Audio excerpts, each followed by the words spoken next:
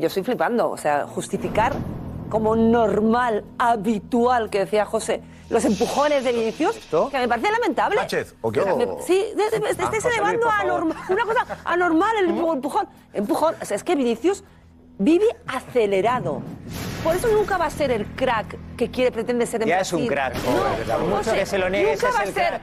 Y eso es lo Romario, duele, Ronaldo, que es un crack mundial. Rivaldo, Eso es lo que os duele. Ronaldinho. Pero si va sobrado, nunca va a ser un crack como una esos. Copa Europa, él. Roberto Carlos, ¿quién estaba Roberto Carlos en un evento? Nunca va a ser como ellos. Que ya ¿Por es un crack, Cristina. No, Que porque tiene comportamientos fu- eh, Cristina, que es un crack. No es un ese crack. discurso no vale. No es un Que es un crack mundial. No es un crack. No es, el número mundial. uno. O sea, no es el número Oro, uno. si El así. número uno es Mbappé. no hagas un el Eric García. No hagas un Eric García. para mí. No No, pero es que es verdad, José. Además- Ser un balón de oro no tiene que estar un crack. 100% metido verdad, mira, los 90 yo minutos. creo- yo creo- yo creo- es el mejor Nunca va a ser Mbappé, por ejemplo. Nunca yo va a ser creo, Mbappé. mira, Mejor yo jugador creo de que ¿sabes el problema que hay aquí en España?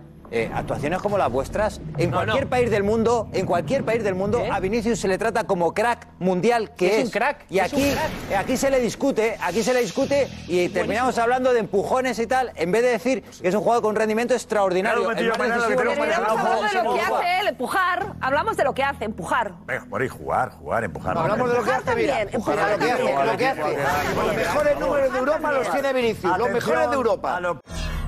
Para ver más, suscríbete al canal de Fox Deportes en YouTube.